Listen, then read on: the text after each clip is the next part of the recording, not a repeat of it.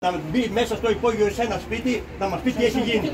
Εντάξει, είναι αλήθεια. Μας Η πει- αλήθεια, η αλήθεια από ό,τι ακούω, από ό,τι ακούμε, είναι ότι σας έχουν αφήσει κυριολεκτικά στη μοίρα σας. Στη μία μας, ναι. Ακριβώς. Έτσι. Ακριβώς ναι, Όχι, όχι μόνο χωρίς αποζημίωση, όχι μόνο χωρίς χέρι βοήθειας, συνεργασία, Τίποτα.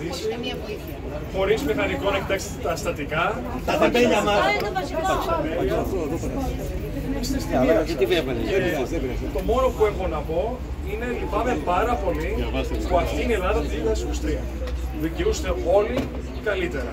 Και αισθάνομαι πάνω μου την ευθύνη και πάνω μας την ευθύνη να κάνουμε καλύτερα για εσάς. Την αλήθεια. Σε όλο τον κόσμο. Η Την αλήθεια, η αλήθεια. αλήθεια είναι ότι το κράτος έχει καταρρεύσει, Μας έχει παραμελήσει. σας έχει παραμελήσει, Τελείωσε. δικαιούστε καλύτερα και Κατηγορίας πολίτες είμαστε.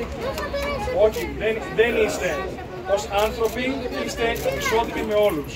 Ως πολίτες, δεν- αυτό δεν είναι δικιά μου κριτική. Εντάξει. Εμείς Εγώ, για, για, για μας, από μεριά μας, είστε ισότιμοι πολίτες, μόνος στους άλλους. Και πρέπει να έχετε καλύτερη μεταχείριση. Είναι, είναι- είναι άδικο κοινωνικά στις εργατικές κατοικίες που η κοινωνία επέλεξε με όποια κριτήρια να υποστηρίξει τον άνθρωπο και τον εργαζόμενο να συναντάμε τα μεγαλύτερα προβλήματα και δεν υπάρχει κα- σε κανένα πολίτη αποζημίωση για την υποσκευή.